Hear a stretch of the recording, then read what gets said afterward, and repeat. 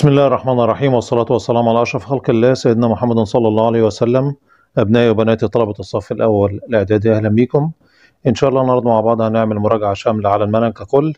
عاوزين نتابع مع بعض ونركز مع بعض كده إن شاء الله عشان نقفل ونجيب الدرجات النهائية بمشيئة ربنا. يلا بينا على بركة الله. أول حاجة اتكلمنا عليها في الوحدة الأولى عندنا اللي هي المادة وخواصها. أول حاجة نعرف يعني إيه كلمة مادة. المادة كل ما له كتلة وحجم. ده تعريف مين؟ المادة. طبعا ده بيجي لي على مين؟ مصطلح علمي. طب الكتلة عبارة عن مقدار ما يحتويه الجسم من مادة. أما الحجم هو الحيز الذي يشغله الجسم منين؟ من الفراغ. إحنا عارفين طبعا بنقدر اللي هي الكتلة بوحدة بسميها إيه؟ الجرام. باختصارها طبعا اللي هي جيم ميم معناها جرام. أو كيلو جرام برضك صح اللي هي كاف جيم ميم معناها كيلو جرام أما الحجم عند الوحدة بتاعته بسميها اللي هي مين؟ السنتيمتر مكعب أو اللي هي المتر مكعب بس إحنا طبعا بنشتغل بإيه؟ بالسنتيمتر مين؟ المكعب. لما نيجي نتكلم على خواص المادة طبعا في كذا حاجة إحنا خدناها. أول حاجة هنتكلم عليها كده اللي هي اللون والطعم والرائحة. فأقدر أميز بين اللي هي العطر والخل عن طريق مين؟ عن طريق اللي هي الرائحة. أما الفضة والذهب هميز بينهم عن طريق مين؟ عن طريق اللون. أما السكر والملح هميز بينهم عن طريق مين؟ عن طريق اللي هي الطعم. خلي بالنا إن في بعض المواد ملهاش طعم تمام؟ ولا لون ولا طعم ولا إيه ولا رائحة زي مين؟ زي المية أو غاز اللي هو إيه؟ اللي هو الأكسجين. خدنا بعد كده اللي هي الكثافة وعرفنا إن الكثافة عبارة عن كتلة وحدة الحجوم من المادة. كتلة وحدة الحجوم اللي هي معناها واحد سنتيمتر مكعب منين؟ من المادة. وخدنا طبعا اللي هو المثلث بتاعنا اللي إحنا بنحل بيه المسائل. الكثافة بيساوي الكتلة على إيه؟ على الحجم. طبعا المثلث ده مهم جدا بنحل بيه أي مسألة. عندنا في المثلث بنعمل فيه ثلاث حاجات عندنا. عندنا هنا كتلة عندنا هنا كثافة عندنا هنا إيه؟ الحجم. لو هو طلب مني اللي هو الكثافه أحط إيدي عليها أصبح كثافة بتساوي الكتلة على إيه؟ على الحجم. طب لو هو عاوز الحجم أقول له الكتلة على مين؟ على الكثافة. أما لو هو عاوز الكتلة أقول له كثافة في الحجم. الكثافة الوحدة بتاعتها بسميها اللي هي جرام لكل سنتيمتر مكعب. نخلي بالنا إن الكتل المتساوية من المواد المختلفة بيكون لها حجوم إيه؟ مختلفة. الحجوم المتساوية من المواد المختلفة بيكون لها كتل مختلفة. كثافة الماء النقي بتساوي واحد جرام لكل سنتيمتر إيه؟ مكعب. نخلي بالنا برضك إن المواد الأقل كثافة من المية بتطفو على سطح مين؟ بتطفو على سطح المية. أما المواد اللي هي الأكبر كثافة من المية بتغوص فين؟ في المية. لما يجي لي سؤال يقول لي علل الحجوم المتساوية من المواد المختلفة لها كتل مختلفة والكتل المتساوية لها حجوم مختلفة. الاجابه أقول له بسبب اختلاف المواد فين؟ في الكثافة. طيب لو إحنا خدنا مسألة كده لو قال لي عند تعيين كثافه قطعه من الحديد وجد أن كتلتها 78 جرام وعندما وضعت في مخبار مدرج به 100 سنتيمتر مكعب من الماء. ازداد حجم الماء إلى كام؟ إلى 110 سنتيمتر مكعب. احسب مين كثافة قطعة الحديد. وكمان بيسألني سؤال بيقول لي هل تغوص في الماء أم تطفو؟ أول حاجة هنا هو مديني الكتلة بكام؟ الكتلة قلب 78 جرام. تمام؟ وعندي هنا عندي هنا مديني حجمين عندي 100 سنتيمتر مكعب مية وبعد كده ارتفع وأصبح كام؟ اللي هو 110 سنتيمتر مكعب. فلازم هنا يكون عندي حجم واحد. هجيبه إزاي؟ هقول له هنا حجم قطعة الحديد بيساوي الرقم الكبير اللي هو عندي اللي هو 110 هطرح منها مين اللي هي ال 100 هيطلع لي كام؟ 10 سنتيمتر مكعب. بعد كده هكتب القانون بتاع اللي هو الكثافة. اللي هو كثافة بيساوي الكتلة على مين؟ على الحجم. الكتلة عندنا بكام؟ ب 78 جرام. والحجم لسه جايبينه بكام؟ ب 10 سنتيمتر مكعب. لما أقسمهم هيطلع لي كام؟ 7 و8 من 10 جرام لكل سنتيمتر إيه؟ مكعب. الرقم اللي طلع عندي هنا هعرف إزاي هنا؟ هل المادة تغوص في المية أم تطفو؟ والله لو الرقم اللي طلع عندي ده أقل من الواحد معنى كده إن هي هتطفو إنما لو هو أكبر من الواحد معنى كده إن هي تغوص. طبعا زي ما إحنا شايفين كده الناتج اللي عندي أكبر منين؟ أكبر من الواحد. وبالتالي هنا أقول له إيه؟ تغوص فين؟ في المية لأن كثافتها أكبر منين؟ من كثافة المية. بنستفيد من الكلام ده في حياتنا اللي هي تطبيقات على اللي هي كثافة. أول حاجة هنا لا يستخدم الماء في إطفاء حرائق البترول. لو قال لي علل أقول له لأن كثافة زيت البترول أقل من كثافة المية مما يجعله يطفو على سطح الماء ويظل إيه؟ ويظل مشتعلا. السؤال علل برضك تملأ بالونات الاحتفالات بغاز الهيليوم أو الهيدروجين؟ الإجابة أقول له لكي ترتفع لأعلى لأن كثافة الهيليوم والهيدروجين أقل من كثافة الهواء الجوي. الكشف عن غش بعض المواد كاللبن والعسل والذهب لأن التغير في كثافة المادة يدل على عدم نقائها. الحاجة الثالثة اللي هي عندنا اللي هي درجة الانصهار. درجة الانصهار لما أجي أعرفها بقول هي عبارة عن درجة الحرارة التي تتحول عندها المادة من الحالة الصلبة إلى الحالة إيه؟ السائلة. نخلي بالنا إن في المواد بتتميز بدرجة انصهار مرتفعة زي مين؟ زي المعادن وملح الطعام. وفي مواد تانية بتتميز بانخفاض درجة انصهارها زي مين؟ زي الشمع والزبد واللي هي الثلج. في تطبيقات على اللي هي درجة اللي هي انصهار في الحياة. أول حاجة آه، بتصنع معظم أواني الطهي منين؟ من الألمنيوم أو من سبيكة اللي هي الصلبة الذي إيه؟ لا يصدأ اللي أنا بسميه اللي هو الاستانلس آه، الحاجة التانية عندنا بستخدم سبيكة الذهب والنحاس في صناعة اللي هي الحلي. الحاجة التالتة عندنا بنستخدم اللي هي سبيكة اللي هي النيكل كروم في صناعة ملفات اللي هي التسخين. ناخد بعد كده عندنا اللي هي رابع حاجة عندنا اللي هي درجة الغليان ودرجة الغليان اللي هي معناها درجة الحرارة التي تتحول عندها المادة من الحالة السائلة إلى الحالة إيه؟ الغازية بنستخدم درجة الغليان في فصل مكونات زيت الب- زيت البترول وأواني الطهي اللي هي أنا بسميها اللي هي مين اللي هي البريستو أو بسميها اللي هي الضغط يعني حلل اللي هي الضغط خامس حاجة عندنا اللي هي درجة اللي هي الصلابة درجة الصلابة بقسم اللي هي المواد من حيث اللي هي درجة الصلابة إلى ثلاث حاجات. عندنا في مواد صلبة لينة في درجات الحرارة العادية زي المطاط. في عندنا مواد صلبة تلين بالتسخين ويسهل تشكيلها زي المعادن زي النحاس والألمنيوم والحديد. في مواد صلبة لا تلين خلي بالي لا تلين بالتسخين ولا تقبل التشكيل زي اللي هي الفحم والكبريت. بناخد تطبيقات حياتية على درجة الصلابة. بتصنع أسياخ اللي هي التسليح من الحديد وليس من النحاس أو الألمنيوم والكلام ده لو قال لي علل ليه أقول له؟ لأن الحديد أكثر صلابة من النحاس أو الألمنيوم آه، علل يصنع المفك من الحديد الصلب أقول له لأن الحديد أكثر صلابة من المعادن الأخرى. سادس حاجة عندنا اللي هي التوصيل الكهربي. آه، بنقسم المواد اللي هي عندنا من حيث اللي هي درجة التوصيل الكهربي إلى حاجتين. أول حاجة عندنا مواد جيدة التوصيل للكهرباء. والحاجة التانية عندنا مواد رديئة التوصيل للكهرباء. عندنا أول حاجة كده اللي هي مواد اللي هي جيدة التوصيل للكهرباء زي المعادن زي الأحماض زي القلويات زي محلول ملح الطعام.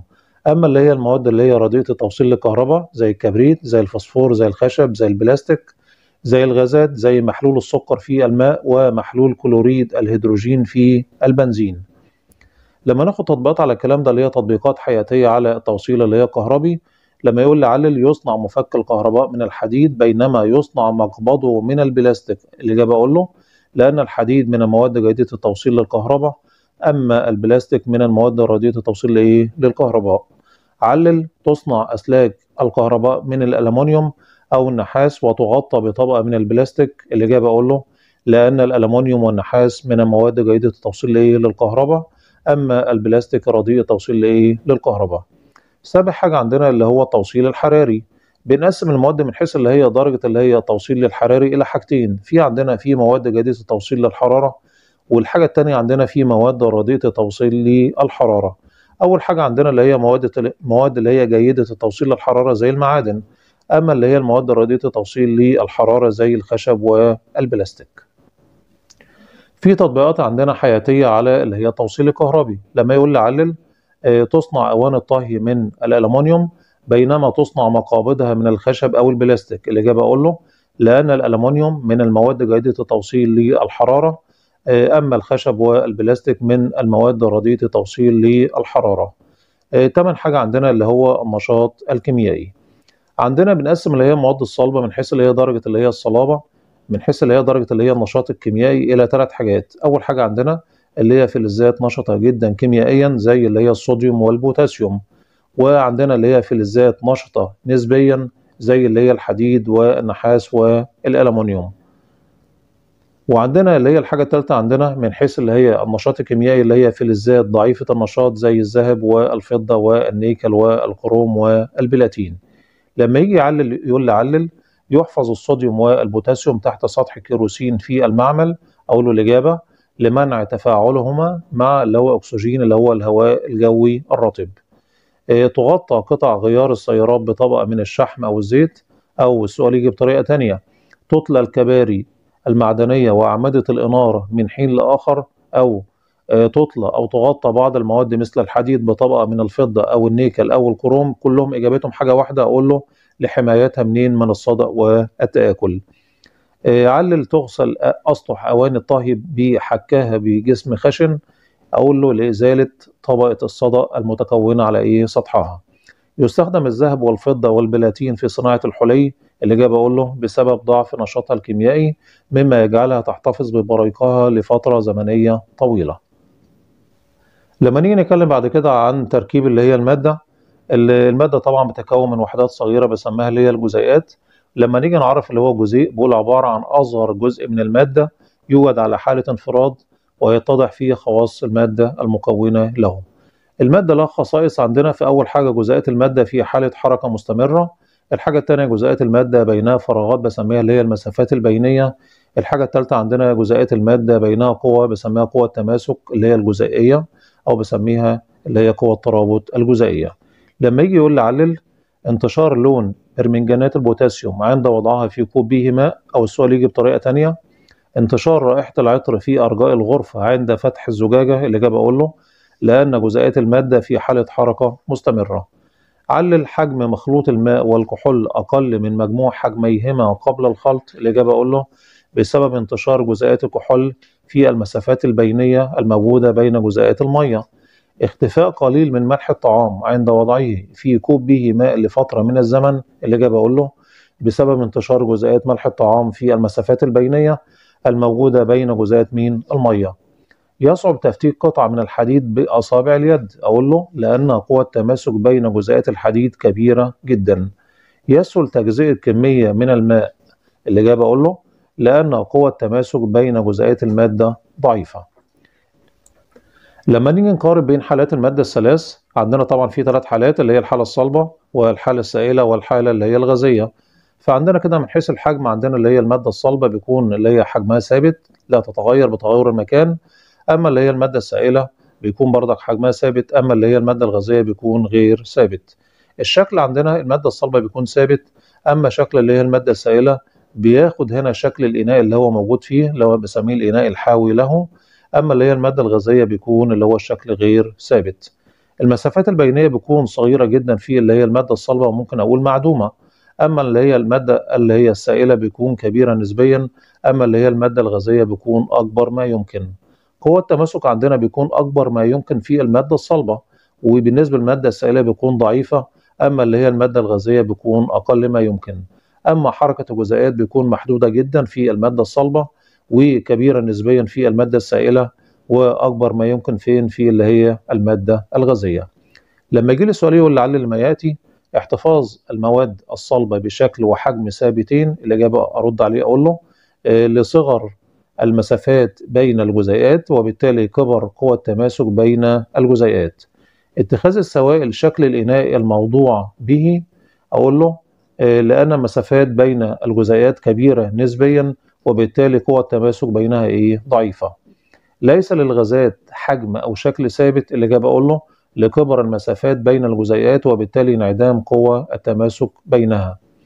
إيه، تحول المادة بتسخين من الحالة الصلبة إلى الحالة السائلة أو يجي السؤال بطريقة تانية تحول المادة بتسخين من الحالة السائلة للحالة الغازية الإجابة أقول له بسبب اكتساب الجزيئات طاقة حرارية فتزداد سرعتها وتضعف قوة التماسك تمام؟ يعني ده هتقل معايا وتتسع مين؟ مين اللي هيزيد معايا؟ اللي هي المسافات مين؟ البينية. إيه عندنا هنا لما ناخد اللي هي العلاقة بين درجة الحرارة والحالة الفيزيائية للمادة فعندنا خدنا حاجتين أساسيين عندنا. أول حاجة اللي هي عملية اللي هي الانصهار والانصهار معناها تحول المادة بالحرارة من الحالة الصلبة إلى الحالة السائلة. أما اللي هي عملية التصعيد معناها تحول المادة بالحرارة من الحالة السائلة للحالة الغازية. لما نيجي نتكلم عن تركيب جزيئات أي مادة عندنا أي جزيئات عندنا بتتكون من وحدات أصغر منها وحدات صغيرة جدا بسميها اللي هي الذرات. والذرات اللي هي جزيئات المادة عندنا جزيئات المادة عندنا اللي هي الوحدة دايما بتكون متشابهة شكل بعضها. أما بتختلف طبعا اللي هي جزيئات اللي هي المادة عن إيه؟ عن الأخرى. يعني تختلف اللي هي جزيئات اللي هي المواد عن إيه؟ عن مادة إيه؟ مادة تانية. أنواع جزيئات بنقسمها إلى حاجتين. أول حاجة عندنا اللي هي جزيء العنصر وجزيء اللي هو المركب. جزيء العنصر دايما بيتكون من نوع واحد من الذرات زي مثلا جزيء اللي هو الأكسجين الذرات بتاعته شكل بعضها. أما جزيء المركب بيتركب من أنواع مختلفة منين؟ من الذرات. زي مثلا جزيء المية عبارة عن ثلاث ذرات واحدة أكسجين واثنين هيدروجين فهنا الذرات مش شكل بعضها. لما يجي يقول لي علل آه، تختلف خواص جزيئات المواد عن بعضها الإجابة أقول له بسبب اختلاف تركيب جزيء كل مادة عن المواد الأخرى في نوع وعدد الذرات وطريقة إيه؟ ارتباطها. جزيء الأكسجين جزيء عنصر أما جزيء اللي هو النشادر جزيء مركب. يا ترى ليه؟ أقول له لأن جزيء الأكسجين يتكون من ذرتين متماثلتين الاثنين شكل بعض. أما اللي هو النشادر آه، بيتكون من ذرات لعناصر إيه؟ مختلفة. جزيئات العناصر عندنا نعرف الأول يعني إيه كلمة عنصر الأول؟ العنصر معناه اللي هو أبسط صورة نقية للمادة لا يمكن تحليلها إلى ما هو أبسط منها بالطرق الكيميائية البسيطة. بنقسم اللي هي جزيئات العناصر إلى ثلاث حالات عندنا صلبة وسائلة وغازية. الصلبة نخلي بالنا إن كلها عبارة تتكون من ذرة واحدة تمام؟ زي مثلا اللي هو الحديد والالومنيوم والنحاس كل دي بتتكون من إيه؟ من ذرة إيه؟ واحدة فقط. عندنا السائلة في عندنا مثالين. أول حاجة عندي هنا تتكون من ذرة واحدة زي اللي هو الزئبق يا اما بتتكون من ذرتين اللي هو البروم. يبقى البروم عندنا بيتكون من كام ذرة؟ من اتنين. أما الزئبق بيتكون من إيه؟ من ذرة إيه؟ واحدة. خلي بالنا إن الزئبق ده فلز أما اللي هو البروم ده لا فلز. الحالة الثالثه عندنا اللي هي الحالة الغازية وعندنا هنا بقسمها إلى حالتين. يا اما بتتكون من ذرة واحدة زي اللي هي الغازات الخاملة يا اما بتتكون من ذرتين زي اللي هي الغازات اللي هي النشطة زي الأكسجين والهيدروجين والكلور والفلور تمام؟ والغازات الخاملة زي اللي هو الهيليوم والنيون لما نيجي نقارن بين الزئبق والبروم الزئبق والبروم الزئبق زي ما إحنا عارفين لسه قايلين ده بيتكون من اللي هو ذرة واحدة تمام؟ يبقى عند الزئبق بيتكون من إيه من ذرة إيه واحدة؟ أما البروم بيتكون من إيه من ذرتين. طبعا هما الاثنين حالتهم إيه؟ حالتهم هما الاثنين سائلين. لو قارنا بين اللي هي الغازات النشطة والغازات اللي هي الخاملة الغازات النشطة تتكون جزيئاتها من ذرتين أما الخاملة تتكون جزيئاتها منين؟ من ذرة واحدة فقط خلي بالي. خلي بالنا هما الاثنين عبارة عن غازات. أمثلة على اللي هي الغازات اللي هي النشطة عندنا في خمس أمثلة زي الهيدروجين والأكسجين والنيتروجين والكلور والفلور. أما اللي هي الجزيئات اللي هي الغازات الخاملة زي الهيليوم والنيون والأرجون والكريبتون والزينون والرادون. نتكلم بعد كده عن اللي هي جزيئات المركبات اللي هي الحاجة الثانية عندنا. نعرف الأول يعني إيه كلمة مركب. والله المركب عبارة عن مادة تنتج من اتحاد ذرتين أو أكثر لعناصر مختلفة بنسبة وزنية ثابتة. دايما بتتكون اللي هي جزيئات المركبات من ذرتين أو إيه أو أكثر لعناصر كيميائية إيه مختلفة. خلي بالنا ناخد أمثلة كده عشان نفهم. والله هنا عندنا أمثلة زي مثلا جزيء المية. جزيء المية ده عبارة عن ثلاث ذرات اللي هي ذرة أكسجين وذرتين إيه؟ هيدروجين. جزيء كلوريد الصوديوم طبعا كل اللي قدام دي جزيئات مركبات نخلي بالنا. جزيء كلوريد الصوديوم بيكون من ذرتين ذرة صوديوم وذرة كلور. عندي جزيء النشادر بيتكون من أربع ذرات ذرة هيدروجين وثلاث ذرات اللي هي عندي اللي هي ذرة الكلام ده مكتوب غلط. ذرة اللي هي نيتروجين وثلاثة هيدروجين. يبقى عندي اللي هو النشادر عبارة عن ذرة اللي هي نيتروجين وثلاث ذرات مين هيدروجين. خلي بالك عشان ده مكتوب غلط زي ما أنا إيه قلت. عندنا جزيء اللي هو كلوريد الهيدروجين ده بيكون من ذرتين ذرة كلور وذرة إيه وذرة هيدروجين. لما نيجي نتكلم عن التركيب الذري للمادة عندنا أي مادة عندنا زي ما إحنا عرفنا سواء صلبة أو سائلة أو غازيه تتكون من جزيئات والجزيئات بتتكون من وحدات أصغر منها بسميها إيه الذرات. نعرف يعني إيه كلمة ذرة. والله الذرة عبارة عن أصغر وحدة بنائية للمادة يمكن أن تشترك فين؟ في التفاعلات الكيميائية. خدنا طبعا اللي هي الرموز الكيميائية للعناصر وعرفنا إن الرمز عندي طبعا ده بتشتق من اللي هي اللغة اللاتينية الرموز اللي هي قدامي ديت. فعندنا لو هو الحرف عندي أو أو الرمز اللي عندي بيكون من حرفين هكتب الأولاني capital والتاني small لو هو حرف واحد هكتبه إيه؟ capital فعندنا الليثيوم اللي هو L I بوتاسيوم اللي هو K الصوديوم اللي هو N A كالسيوم C A مغنيسيوم M G الومنيوم اي إل خرسين زد إن الحديد F E الرصاص اللي هو P تقيلة B خفيفة. عندنا النحاس اللي هو C U الزئبق H G فضة A G الذهب A U هيدروجين H أكسجين O نيتروجين N الفلور F الكلور C L البروم اللي هو B R اليود I الهيليوم H E الأرجون A R النيون N E الكبريت S الفوسفور P الكربون C والسيليكون اللي هو S I. لما نيجي نتكلم عن تركيب الذرة الذرة طبعا عبارة عن نواة. النواة ديت نواه بيكون موجبة الشحنة بتحتوي على حاجتين. أول حاجة عندنا اللي هي بروتونات بروتونات موجبة الشحنة والحاجة الثانية اللي هي مين؟ نيوترونات متعادلة إيه؟ متعادلة الشحنة. وعندنا بيدور حواليها اللي هي مين؟ اللي هي حاجة اسمها إلكترونات سالبة مين؟ سالبة اللي هي الشحنة. لما نيجي بعد كده نعرف اللي هو العدد الذري العدد الذري معناه إيه؟ عبارة عن عدد البروتونات الموجودة آه الموجودة داخل مين نواة الذرة أو عدد الإلكترونات اللي هي السالبة التي تدور حول مين حول النواة اللي هي موجودة في مستويات الطاقة. أما اللي هو العدد الكتلي معناه مجموع أعداد البروتونات والنيوترونات داخل نواة مين الذرة. وعندنا في بعض القوانين كده نعرفها. عندنا اللي هو العدد الذري بيساوي عدد البروتونات بيساوي عدد مين الإلكترونات. العدد الكتلي بيساوي عدد البروتونات زائد عدد النيوترونات يعني كل اللي جوه النواة. عدد النيوترونات بيساوي العدد الكتلي ناقص مين؟ اللي هو العدد الذري. لما يجي لي سؤال يقول لي علل ما يأتي الذرة متعادلة كهربيا في حالتها العادية الاجابه أقول له بسبب تساوي عدد البروتونات الموجبة داخل النواة مع عدد الإلكترونات السالبة حول النواة. نواة الذرة موجبة الشحنة الاجابه أقول له لاحتوائها على بروتونات موجبة الشحنة ونيوترونات متعادلة الشحنة. تتركز كتلة الذرة في النواة. أقول له بسبب صغر كتل كتلة الإلكترونات مقارنة بكتلة مين البروتونات أو النيوترونات ممكن أقولها بطريقة ثانية أقول له لأن كتلة الإلكترونات ضئيلة جدا يمكن إهمالها. علل العدد الكتلي أكبر من العدد الذري غالبا. أقول له لأن العدد الكتلي عبارة عن مجموع أعداد البروتونات والنيوترونات أما العدد الذري عبارة عن مين؟ أعداد البروتونات فقط. الإلكترونات طبعا بتتحرك حول مين؟ حول النواة زي ما إحنا عرفنا. الإلكترونات بتدور حول النواة في مدارات أو بسميها مستويات الطاقة. عدد مستويات الطاقة ديت في أثقل الذرات اللي هي ذرة اليورانيوم. دي بيكون سبعة مستويات. أقرب واحد للنواة بسميه K وأبعد واحد عندي اللي هو مين؟ اللي هو Q نخلي بالنا أكبر مستويات الطاقة أكبر مستوى بالنسبة للطاقة اللي هو مين؟ اللي هو أبعد واحد عندنا اللي هو Q وأقل واحد في الطاقة اللي هو أقرب واحد للنواه اللي هو مين؟ اللي هو الكي طب يعني إيه مستويات الطاقة؟ مستويات الطاقة تعرفها عبارة عن مناطق وهمية تتحرك خلالها الإلكترونات حول النواه حسب إيه؟ طاقتها. لما نيجي نعرف بعد كده اللي هي طريقة اللي هي توزيع إلكتروني إيه طبعا لكل إلكترون طاقة بتساوي طاقة المستوى اللي هو موجود فيه. يمكن تحديد اللي هي عدد الإلكترونات اللي هو بيتشبع بها كل مستوى عن طريق العلاقة اللي إحنا عارفينها اللي هي 2 نون تربيع. طبعا دي عندنا النواة وعندنا طبعا دي مستويات الطاقة اللي هي السبعة. أقرب واحد للنواة اللي هو اللي هو K ثم L M N O P Q أقرب واحد قلنا للنواة اللي هو K وأبعد واحد عن النواة اللي هو مين؟ اللي هو Q هنا المستوى الأولاني اللي هو K بيتشبع خلي بالنا ب 2 إلكترون. المستوى الثاني بيتشبع ب 8 إلكترون. المستوى الثالث اللي هو ال M بيتشبع ب 18 إلكترون.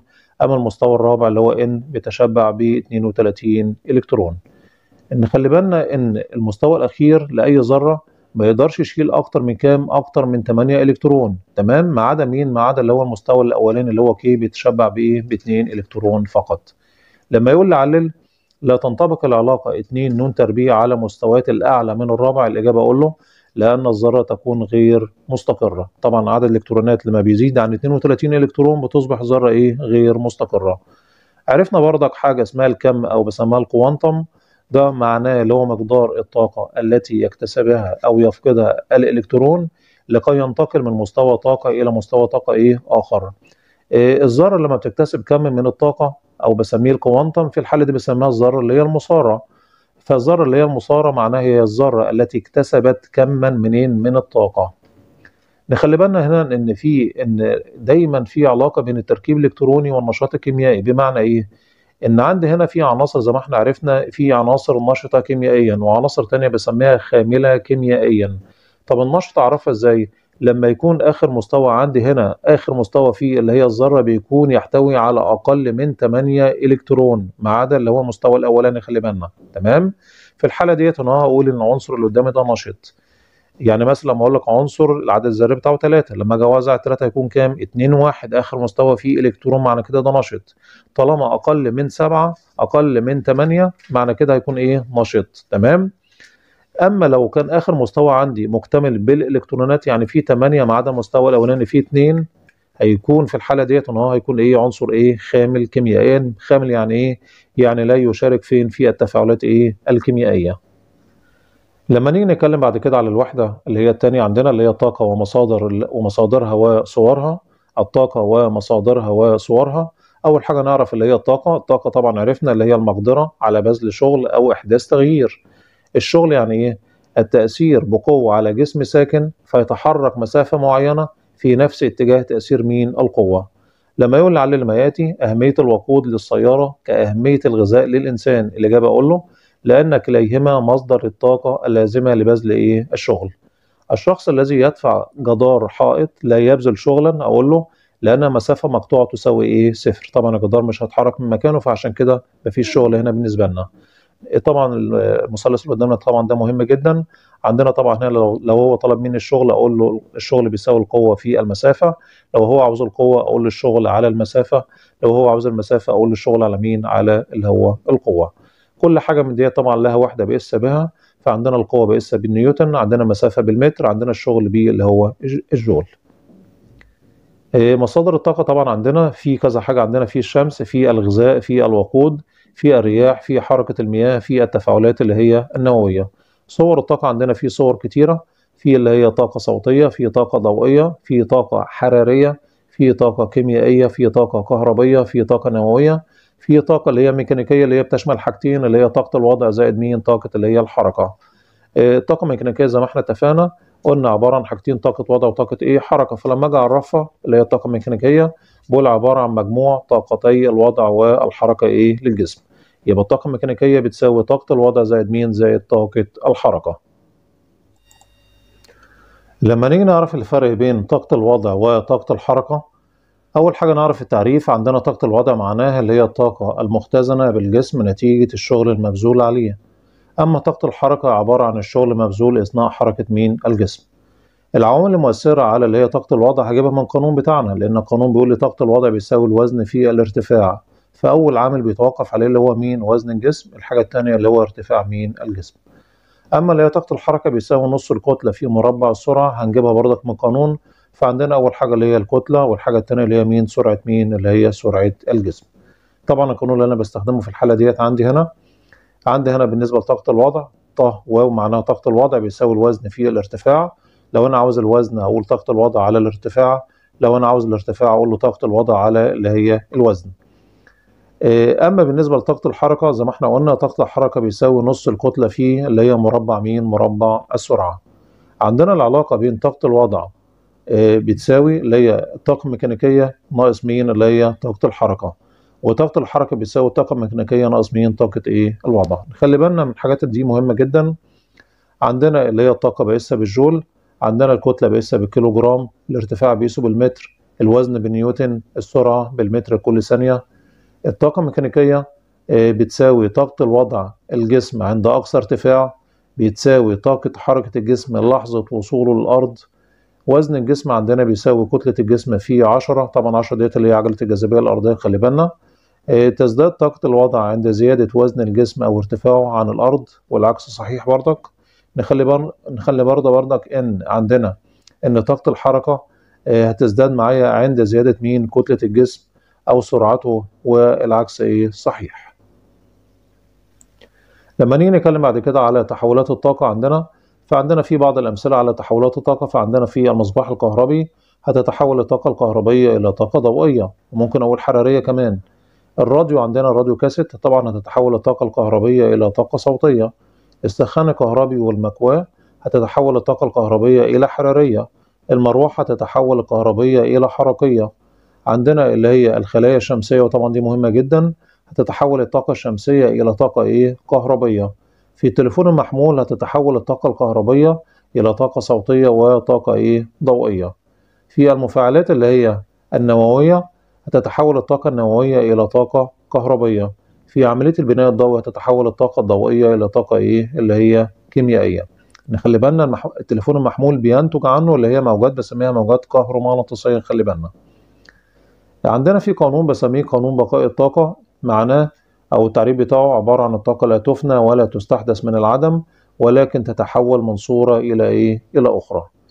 لما نيجي نتكلم على اللي هي تحولات الطاقة في البندول البسيط عندنا هنا طبعا بيحصل عملية تبادل بين طاقة الوضع وطاقة الحركة إثناء حركة مين؟ البندول زي بردك نفس الكلام عندنا لو عندنا إيه؟ اللي هي الأرجحة. عند أعلى ارتفاع نخلي بالنا طاقة الوضع بيكون أكبر ما يمكن. وطاقة الحركة بتساوي صفر لأن السرعة بتساوي كام؟ بتساوي صفر. أثناء مرور البندول بموضع السكون بتكون طاقة الوضع أقل ما يمكن وطاقة الحركة أكبر ما يمكن. بيظل الجسم المتحرك محتفظا بطاقاته الميكانيكية ليه؟ عشان بيحصل عملية تبادل بين طاقة الوضع وطاقة مين؟ وطاقة الحركة. بيكون النقص عندنا في طاقة الوضع دايما مساوي للزيادة فين؟ في طاقة الحركة والعكس إيه؟ صحيح. معنى كده عندنا اللي هو قانون بقاء اللي هي الطاقة اللي هي الميكانيكية إن مجموع طاقتي الوضع والحركة لأي جسم في مجال الجاذبية الأرضية بيكون إيه؟ مقدار إيه؟ مقدار ثابت. اللي قدامنا طبعا ده مهم جدا اللي هو العمود الكهربي البسيط وطبعا بيحصل فيه اللي هي عملية تحولات كهربية. فعندنا في العمود الكهربي البسيط بتتحول الطاقة الكيميائية إلى طاقة إيه؟ كهربية. العمود الكهربي البسيط بيحتوي على محلول حمضي مغموس فيه معدنين طبعا محلول الحمض هنا اللي هو مين؟ حمض كبريتيك المخفف. عندنا هنا المعدنين أول حاجة عندنا اللي هو لوح النحاس اللي هو C U وطبعا ده بيشتغل كقطب موجب عندنا موجب عندي أهو فاذا ده C U اللي هو النحاس. والقطب الثاني اللي هو مين؟ اللي هو الخرسين اللي هو Z N وده بيعتبر كقطب إيه؟ كقطب سالب. نخلي بالنا هنا اتجاه التيار اتجاه انتقال التيار الكهربي خارج السلك من السلك يعني من خارج المحلول هيكون من القطب الموجب إلى القطب إيه؟ إلى القطب السالب. لما نيجي نتكلم على تحولات الطاقة في المصباح الكهربي. فعندنا لما يقول لي تتحول الطاقة الكهربية إلى طاقة ضوئية وحرارية زي ما إحنا إيه زي ما إحنا اتفقنا. لما يقول لي علل يحظر لمس المصباح الكهربي وهو مضيء أقول له طبعا لأن الطاقة الكهربية تتحول إلى طاقة ضوئية وحرارية. لما نيجي نتكلم على تحولات الطاقة في السيارة فعندنا أول حاجة تتحول الطاقة الكيميائية اللي هي متمثلة في الوقود البنزين يعني بالإحتراق إلى طاقة إيه حرارية. والطاقة الحرارية هتبدأ تتحول إلى طاقة حركية هتبدأ تحرك السيارة. والطاقة الحركية في الدينامو هتتحول إلى طاقة إيه؟ كهربية. وعندنا هنا اللي هي الطاقة الكهربية اللي هي نتجت من الدينامو هيبدأ هنا استغلها في كذا حاجة. فممكن تتحول إلى طاقة ضوئية في المصابيح اللي هي بتاعة السيارة وممكن صوتية خلال اللي هو الراديو كاسيت بتاع السيارة أو إلى حرارية في التكييف. دور التطبيقات التكنولوجية في حياتنا. فعندنا هنا أول حاجة اللي هي استغلال اللي هي مصادر الطاقة. الحاجة الثانية اللي هي تحويل بعض اللي هي صور الطاقة إلى صور أخرى بيحتاجها الإنسان فين؟ في مجالات إيه؟ حياته. في بعض اللي هي الآثار السلبية للتطبيقات اللي هي التكنولوجية زي مثلا اللي هو التلوث اللي هو البيئي زي اللي هو التلوث الكهرومغناطيسي لشبكات اللي هو التليفون المحمول أو اللي هو التلوث مين؟ الضوضائي. برضك اللي هو الآثار السلبية زي مين؟ اللي هي الحروب واللي هو القتل. بنستخدم برضك اللي هي بعض اللي هي التكنولوجيا الحديثة في مجالات اللي هي التدمير الشامل باستخدام اللي هي الأسلحة الذرية والكيميائية. لما نيجي نتكلم عن الطاقة الحرارية نيجي نعرفها الأول بقول هي صورة من صور الطاقة تنتقل من الجسم الأعلى في درجة الحرارة إلى الجسم الأقل فين؟ في درجة اللي هي الحرارة. طب يعني إيه درجة الحرارة أصلا؟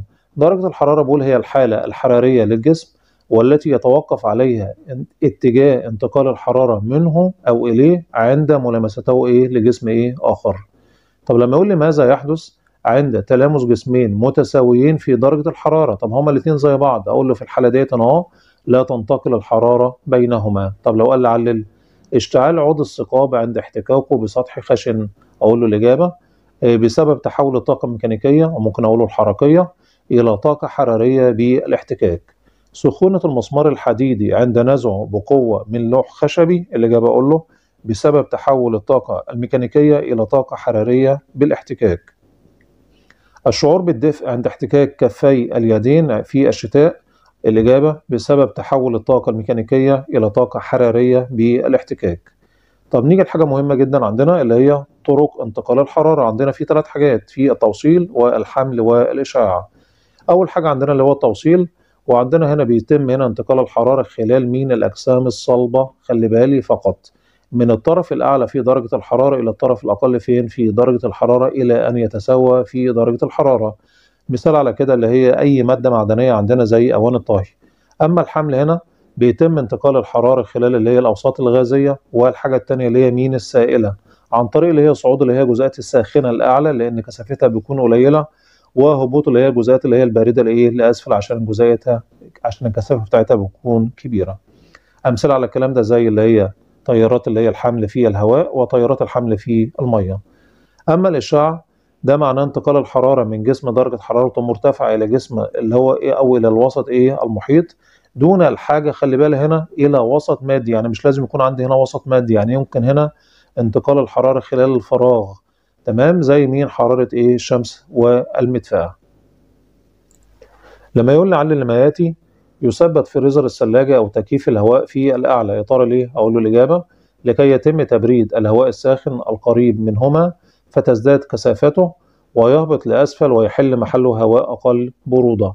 توضع المدفأة على أرضية الغرفة لكي تقوم بتسخين الهواء البارد القريب منها فتقل كثافته ويرتفع لإيه؟ لأعلى ويحل محله هواء بارد. ارتداء الملابس الداكنة اللي هي الغامقة في فصل الشتاء والملابس البيضاء في فصل الصيف أقول له لأن الملابس الداكنة تمتص معظم إشعاع الشمس بينما تعكسه الملابس مين؟ اللي هي البيضاء. عند تلامس جسمين متساويين في درجة الحرارة لا تنتقل الحرارة بينهما. أقول له الإجابة لأن الحرارة تنتقل من الجسم الأعلى في درجة الحرارة إلى الجسم الأقل فين؟ في درجة الحرارة. لا تنتقل حرارة الشمس إلينا عن طريق التوصيل أو الحمل. أقول له الإجابة لأن الهواء رديء التوصيل للحرارة كما أنه يوجد فراغ. الفراغ طبعا ده موجود بينين من الشمس واللي هو إيه؟ الأرض. يفضل استخدام الطاقة الشمسية في إنتاج الكهرباء. أقول له لأن الشمس مصدر دائم للكهرباء لأن الشمس مصدر دائم للطاقة وغير ملوث لإيه؟ للبيئة وكمان مصدر إيه؟ رخيص. لما نيجي نتكلم بعد كده عن تنوع اللي هي الكائنات الحية ومبادئ تصنيفها أول حاجة هنا في تنوع عندنا في النباتات من حيث الحجم اللي هو النبات فبنقسم اللي هي النباتات من حيث الحجم إلى الأشجار الضخمة زي الكافور والنخيل والأعشاب القصيرة زي اللي هي البرسيم واللي هي الجرجير. من حيث اللي هو حجم الأوراق هقسمها اللي هي نباتات ذات أوراق كبيرة زي اللي هي أشجار اللي هي زي نباتات اللي هي الموز والكرنب وفي اللي هي النباتات التانية اللي هي الأوراق بتاعتها صغيرة الحجم زي الملوخية والتوت آه طب نيجي للحيوانات. عندنا برضك في تنوع في الحيوانات. فعندنا أول حاجة اللي هي من حيث حجم الحيوان. فعندنا في حيوانات كبيرة الحجم زي الفيل والخرتيت عندنا في حيوانات اللي هي صغيرة الحجم زي الأرنب واللي هو الفأر. من حيث اللي هي البيئة اللي هو موجود فيها هقسمها حيوانات تعيش في الماء زي اللي هي التمساح وسبع البحر والأسماك. عندنا في حيوانات بتعيش فين على اليابس زي الحصان والأسد؟ طب نيجي برضك في تنوع عندنا في اللي هي الكائنات الدقيقة. طب يعني إيه كائنات دقيقة؟ هي عبارة عن كائنات حية مجهرية. يعني إيه مجهرية؟ يعني لا ترى إلا بالمجهر اللي هو الميكروسكوب. لا ترى إلا لا ترى بالعين المجردة. ما أقدرش أشوفها بعينيا. تنتشر في الهواء والهواء تنتشر في المية والهواء والتربة. أمثلة على الكلام ده زي مين؟ زي الأميبا زي البراميسيوم زي اليوجلينا. لو قال لي قارن بينهم هما الثلاثة من حيث اللي هي الحركة أقول له الأميبا تتحرك عن طريق اللي هي الأقدام الكاذبة أما البراميسيوم بيتحرك عن طريق اللي هو الأهداب أما اليوجلينا بتتحرك عن طريق اللي هي الأصوات. لما نيجي نصنف اللي هي الكائنات الحية في عندنا طبعا حاجة اسمها اللي هو علم التصنيف. يعني علم التصنيف؟ هو أحد فروع علم الأحياء الذي يبحث في أوجه التشابه والاختلاف بين الكائنات الحية ووضع المتشابه منها في مجموعات حسب خصائصها المشتركة لتسهيل إيه؟ دراستها. في عندنا برضه حاجة مهمة جدا اللي هو النوع دي عبارة عن مجموعة من الكائنات الأكثر تشابها في صفاتها الظاهرية وتتزاوج فيما بينها وتنتج أفرادا جديدة خصبة تكون قادرة على تكاثر وحفظ النوع. لما يقول لعلل دعت الحاجة إلى قيام العلماء بتصنيف الكائنات الحية أو الإجابة لتقسيم الكائنات الحية حسب خصائصها المشتركة في مجموعات لتسهيل دراستها. لا يعتبر البغل ولا الزنكي نوع من الكائنات الحية؟ الإجابة أقول له لأن كلاهما ينتج من تزاوج نوعين مختلفين من الكائنات الحية. يمكن إنتاج نسل خصب من تزاوج رجل أوروبي من أمرأة إفريقية. أقول لأن كلاهما من نفس النوع من الكائنات مين؟ الحية. طب لو اللي أكمل عند تزاوج ذكر حمار بري مع أنثى حمار وحشي تنتج أنثى أقول له طبعا إيه؟ عقيمة تسمى إيه؟ الزنكي. عند تزاوج ذكر حمار مع أنثى حصان تن- تنتج أنثى عقيمة بسميها إيه؟ البغل. لما نيجي نصنف بعد كده اللي هي نباتات حسب اللي هو الشكل الظاهري هقسمها إلى حاجتين فعندنا نباتات لا تتميز إلى جذور وسيقان وأوراق زي اللي هي الطحالب اللي هي الخضراء والطحالب اللي هي البنية والطحالب اللي هي الحمراء. عندنا في نباتات طبعا بتتميز إلى جذور وسيقان وأوراق طبعا زي مين؟ زي النباتات اللي إحنا عارفينها زي الفول زي الذرة زي القمح زي النخيل زي الكافور تمام؟ كل نبات إحنا عارفينه طبعا بيكون إيه بيتميز إلى جذر وساق وأوراق. طب نيجي نصنف اللي هي نباتات حسب اللي هي طريقة اللي هي التكاثر. هنقسم النباتات إلى حاجتين. أول حاجة عندنا نباتات تتكاثر بتكوين اللي هي الجراثيم. فطبعا عندنا هنا مثال زي مين؟ زي اللي هي السراخس وعندنا أمثلة طبعا مهمة جدا دايما بتيجي لي اكمل زي اللي هو الفيوجير واللي هو كزبرة البئر. في نباتات تانية تتكاثر بتكوين اللي هي البذور وهنا هقسمها لحاجتين اللي هي نباتات مغطاة البذور ونباتات اللي هي معرات اللي هي البذور. فعندنا مغطاة البذور هقسمها لحاجتين اللي هي نباتات ذات فلقة واحدة ونباتات اللي هي ذات إيه؟ فلقتين. اللي هي ذات فلقة واحدة زي اللي هو نبات الذرة والقمح والنخيل واللي هي ذات فلقتين زي اللي هو نبات الفول والبسلة. أما اللي هي نباتات اللي هي معرات البذور زي اللي هو النبات اللي هو الصنوبر واللي هو السيقس نخلي بالنا عندنا هنا في اللي هي تتكون بذور النباتات معرات البذور داخل مخاريط زي نبات الصنوبر. تتكون بذور النباتات مغطاة البذور داخل غلاف ثمري. الستراخس خلي بالنا دي عبارة عن نباتات أرضية تتكاثر بتكوين اللي هي الجراثيم. آه، ممكن بعد كده لما نيجي نصنف اللي هي الحيوانات هصنف الحيوانات حسب اللي هي طبيعة اللي هي الدعامة يعني وجود الدعامة ولا لأ. فعندنا كده أول حاجة عندنا حيوانات رخوة يعني ما عندهاش دعامة طبعا ده زي مين؟ زي قنديل البحر والأخطبوط والديدان. وعندنا اللي هي الحيوانات اللي هي عندها دعامة هقسمها لحاجتين اللي هي دعامة خارجية ودعامة اللي هي داخلية. الدعامة الخارجية زي اللي هي القواقع والمحار والجمبري. أما الدعامة الداخلية زي مين؟ زي اللي هي الفقاريات طب فقاريات دي بتشمل كذا حاجة طبعا زي الأسماك بتشمل حاجات زي الأسماك والبرميات زي الضفادع واللي هي الزواحف زي السحلية. وطيور زي الدجاج وثدييات زي مين؟ زي الإنسان. نيجي نصنف اللي هي المفصليات حسب اللي هي عدد الأرجل. فعندنا هنا نقسم اللي هي كائنات إلى ثلاث حاجات. عندنا حشرات عنكبوتيات عديدة الأرجل. الحشرات آه، طبعا زي النحل والنمل والذباب والجراد والصرصور. وطبعا ديت إن هو الحشرات بيكون عندها ست أرجل يعني ثلاث أزواج من الأرجل المفصلية. أما العنكبوتيات بيكون عندها أربع أزواج من الأرجل المفصلية يعني عندها ثمان أرجل زي العنكبوت والعقرب. أما عديدة الأرجل زي مثال عليها زي أم 44 وذات الألف إيه قدم. لما يقول لي قارن بين الحشرات والعنكبوتيات وعديدة الأرجل مع ذكر امثله طبعا المقارنة دي مهمة جدا خلي بالنا. فعندنا كده أول حاجة اللي هي الحشرات زي ما إحنا لسه قايلين قلنا تمتلك ثلاث أزواج من الأرجل المفصلية زي النحل والنمل. العنكبوتيات تمتلك أربع أزواج من الأرجل المفصلية. هنا يقول لي ثلاث أزواج ويقول لي ست أرجل الاثنين حاجة واحدة خلي بالنا. لأن الزوج اثنين اثنين في ثلاثة بستة. وهنا أربع أزواج يعني ثمان أرجل. لأن الزوج معناه اثنين يعني اثنين في أربعة يعني هيطلع لي كام؟ ثمان أرجل. مثال على العنكبوتيات زي العنكبوت والعقرب. عديدة الأرجل دي تمتلك عدد كبير منين؟ من الأرجل المفصلية زي أم 44 وذات الألف إيه قدم. طب لما يقول لي علل لا يعتبر العنكبوت من الحشرات رغم امتلاكه أرجل مفصلية. يا ترى ليه؟ أقول له لأنه يمتلك أربع أزواج من الأرجل المفصلية بينما الحشرات تمتلك كام؟ ثلاث أزواج فقط.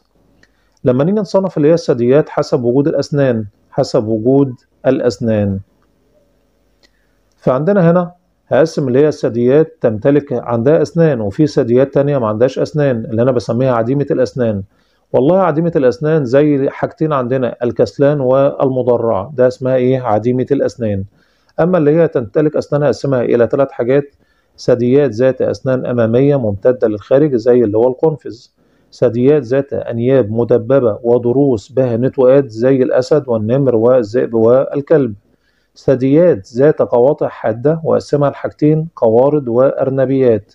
القوارض زي الفار والسنجاب أما الأرنبيات زي مين زي الأرنب. قارن بين القوارض والأرنبيات مع ذكر أمثلة. طبعا المقارنة دي مهمة جدا.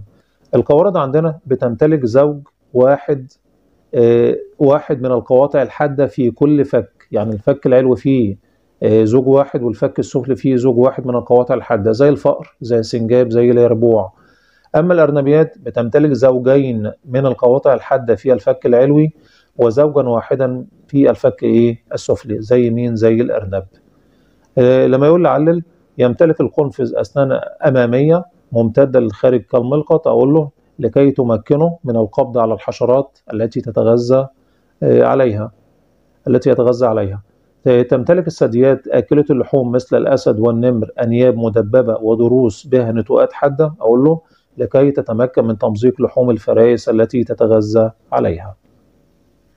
نتكلم بعد كده عن التكيف والتنوع اللي هي الكائنات الحية. نعرف الأول يعني إيه التكيف عبارة عن تحور في سلوك الكائن الحي أو تركيب جسمه أو الوظائف الحيوية لأعضائه حتى يصبح أكثر تلاؤما مع ظروف البيئة التي يعيش فيها.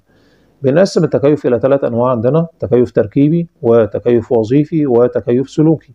عندنا التكيف التركيبي ده بيكون تحور في تركيب أحد أجزاء اللي هو الجسم ليتلائم مع ظروف البيئة اللي هو موجود إيه فيها. أمثلة تركيب قدم اللي هو الحصان وتركيب مين قدم مين اللي هو إيه؟ الجمل.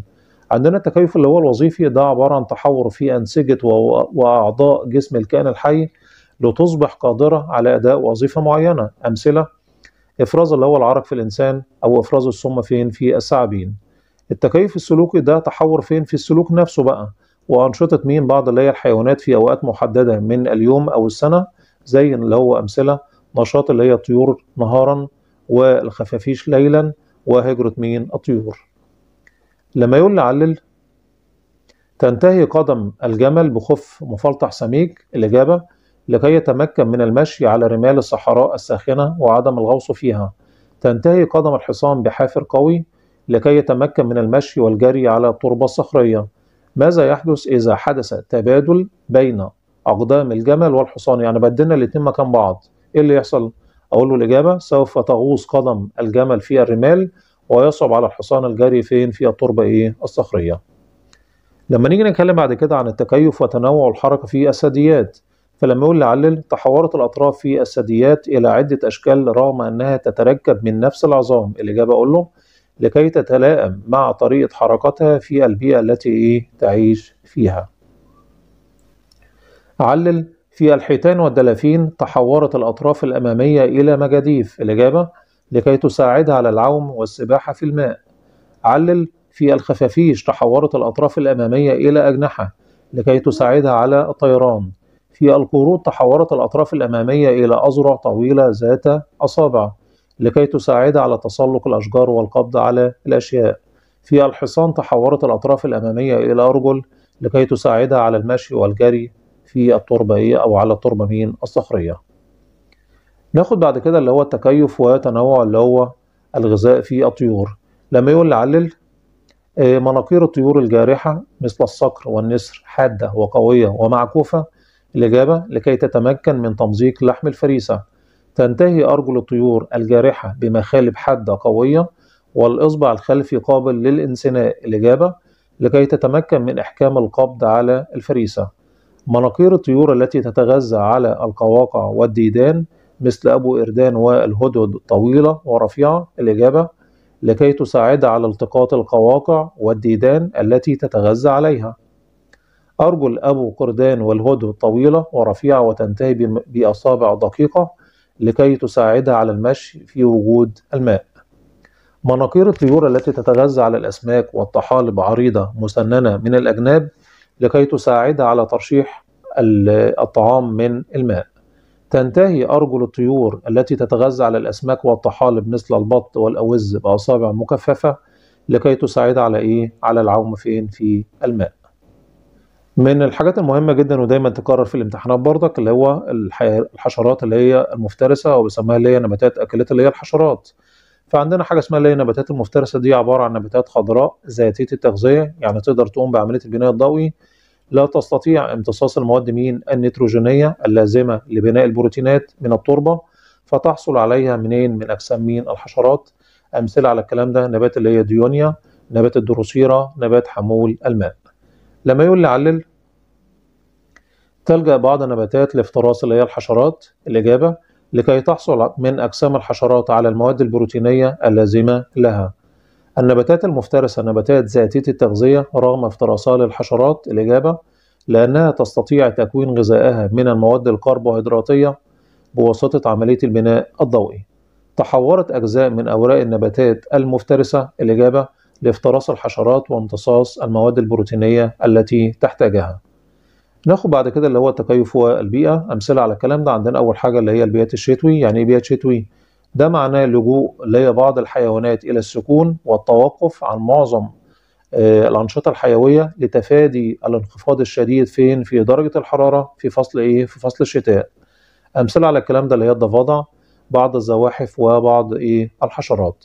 لما أقول نعلل تدفن الضفادع نفسها في الطين وتتوقف عن التغذية في فصل الشتاء. الإجابة للتغلب على الانخفاض الشديد في درجة إيه؟ الحرارة فيما يعرف بإيه بالبيئات الشتوي. علل تختبئ بعض الحيوانات كالسلاحف في جحور أثناء فصل الشتاء. الإجابة لتفادي الانخفاض الشديد في درجة الحرارة فيما يعرف بالبيئات الشتوي.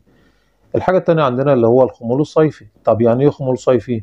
هو لجوء بعض الحيوانات إلى السكون والتوقف عن معظم الأنشطة الحيوية لتفادي الارتفاع المرة دي بقى الشديد فين؟ في درجة الحرارة ونقص المياه. الكلام ده إمتى؟ في فصل إيه؟ في فصل الصيف. أمثلة زي القوقع الصحراوي زي اليربوع زي بعض مين؟ زي بعض الحشرات.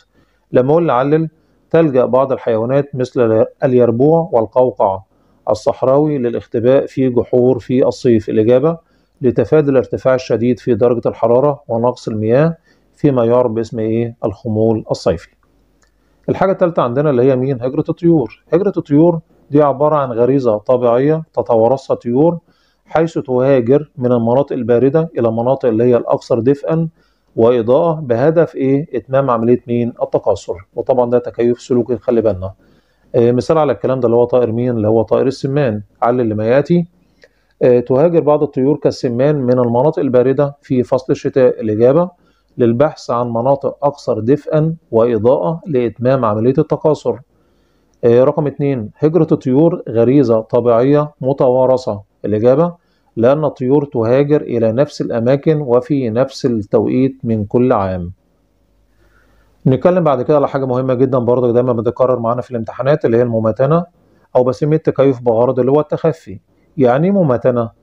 قدرة هي قدرة بعض الكائنات الحية على محاكاة الظروف البيئية السائدة بغرض التخفي من الأعداء أو لاقتناص الفرائس في الأنواع المفترسة أمثلة عندنا الحرباء عندنا الحشرة الورقية عندنا اللي هي حشرة اللي هي العود لما يقول على يأتي على ما يأتي تتلون بعض الحيوانات بألوان البيئة التي تعيش فيها الإجابة حتى لا تصبح هدفا واضحا لأعدائها المفترسين وذلك بغرض مين التخفي يصعب تمييز بعض الحشرات مثل الحشرة الورقية وحشرة العود الإجابة لأنها تتلون بألوان البيئة التي تحيط بها بغرض التخفي من أعدائها المفترسين وكذلك الاقتناص مين اللي هي إيه فرائسها يا رب تكون مراجعة مفيدة ليكم. يا رب كده بالتوفيق للجميع ونجيب أعلى درجات ونقفل اللي هي الدرجة بتاعتنا إن شاء الله. ونحقق اللي هي الأحلام بتاعتنا مشيئة ربنا. ما تنسوناش من صالح دعواكم. كان معكم مستر طارق وسلام الله عليكم ورحمة وبركاته.